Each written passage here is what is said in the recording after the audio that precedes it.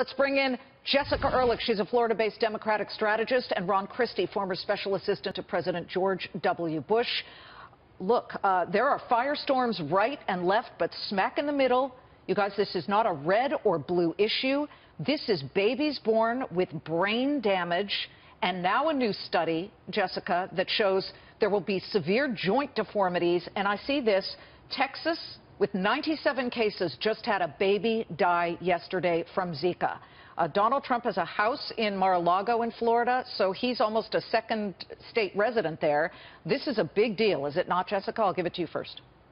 Yeah, no, absolutely. And I really, as a Floridian and someone who's, you know, living here in St. Petersburg, I'm so glad that you're focusing on this, particularly today. I mean, it's been one horrible situation after the next, and we've seen across the board Republican and Democrats from the state of Florida.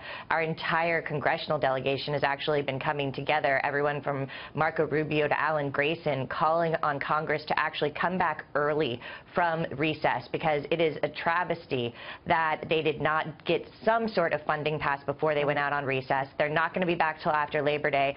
Rick Scott is, you know, he's a very conservative. I do not agree with him on most things. He's our Republican governor here, and he's literally begging for the resources we need because so, you know as well as I do, we just went through a day and a half where we had a deluge here in Tampa Bay area. It rained right. nonstop. And, and the mosquitoes Ron, are out of control. Ron, I get accused of blowing things out of proportion. Is that this? But I look at this and I say, wait a minute. You now have a death of a baby in Texas, far from Florida. Granted, it was not, it was travel related. Somebody right. got it elsewhere and then they brought it in. But now, and, and by the way, Adam had just mentioned we're waiting on the 47th state. Mm. That's Idaho. Yeah. Idaho, not known for massive amounts of mosquitoes here. No.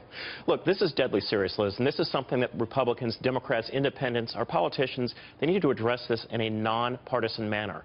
There is $353 million of Ebola funding that can be reprogrammed right now to deal with Zika. Why aren't they doing that? But could it be a political football right now? Of course now? it's a political football. How about football. an October surprise? Of course it's political football, and of course we're looking for an October surprise. Look, these guys need to recognize, as you just said, people are dying. People are being told if you're pregnant, you're a woman and you're in Miami, stay indoors. Don't go outside. This is affecting people's very livelihoods, and I'm frankly tired of it. Jessica, 29 electoral votes.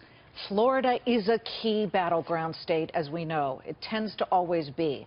At what point do you think of both of these candidates, Hillary's addressed it, Donald Trump says leave it to the states, but at what point do you think both of these candidates start really pressing for some answers to deal with this?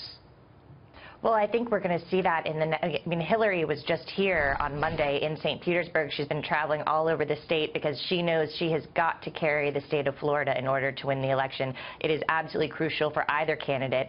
And, you know, this is one of those issues that really hits particularly with independents and with women mm -hmm. because they're, you know, the ones most affected, particularly in the state of Florida. We, I mean, kids just went back to school here today. You cannot go, you have mosquitoes in your home. You can't stay in your house and that's going to keep that. This is Florida. And, and you work for we George Bush, Ron.